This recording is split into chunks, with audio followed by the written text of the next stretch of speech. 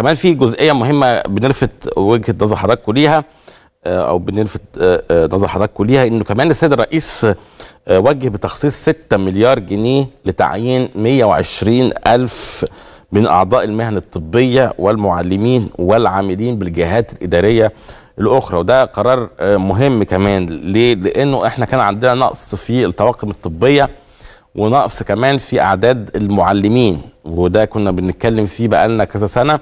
وكانت حصلت الاختبارات. طبعا دخلنا 30 ألف معلم وبعد كده بتتواصل هذه الاختبارات على الأسس والمعايير الجديدة والحديثة. لكن النهارده كمان في كان في قرار مهم وهو قرار السيد الرئيس بتخصيص 6 مليار جنيه لتعيين 120 ألف من أعضاء المهن الطبية والمعلمين والعاملين بالجهات الإدارية الأخرى. وده فتح باب رزق ل 120 ألف أسرة. آه، ده اولا. ثانيا كان عندنا نقص في أعضاء المهن في أعضاء المهن الطبية. وكمان كان عندنا نقص في آه، اعداد المعلمين آه، وده جزئية في منتهى الأهمية. كان لازم برضو نقول لحضراتكم عليها آه، النهارده. وده بيجي كمان في نفس الجزئية تخصيص 15 مليار جنيه زيادة إضافية للأطباء والتمريض والمعلمين وأعضاء هيئة التدريس بالجامعات منها آه، 8 مليار جنيه لإقرار آه، في أجور المعلمين بالتعليم قبل الجامعي يعني 15 مليار منها 8 مليار للمعلمين ما قبل التعليم الجامعي. وواحد وستة من عشرة مليار جنيه لزيادة إضافية لأعضاء هيئة التدريس ومعاونيهم بالجامعات والمعاهد والمراكز البحثية. مهم موضوع المراكز البحثية ده جدا.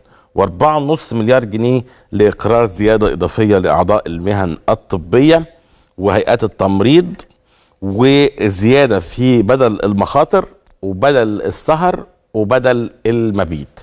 دي كلها جزئيات مهمة جدا جدا وده كمان بيأتي آه، مع قرارات السيد الرئيس وكان كمان عندنا اجتماع النهارده للسيد الرئيس مع الدكتور مصطفى مدبولي رئيس مجلس الوزراء والدكتور محمد معيط وزير آه، المالية. وكمان كان صرح المتحدث الرسمي باسم رئاسة الجمهورية أيضا بتصريحات مهمة إنه طبعا آه، السيد الرئيس بيتابع تطورات آه، إجراءات الحكومة في الإصلاح الاقتصادي وضبط أسعار السلع والخدمات والحد من التضخم وتحقيق الاستقرار الكلي وتم كمان بحث في القرارات الجديدة قبل إعلانها للمواطن اليوم.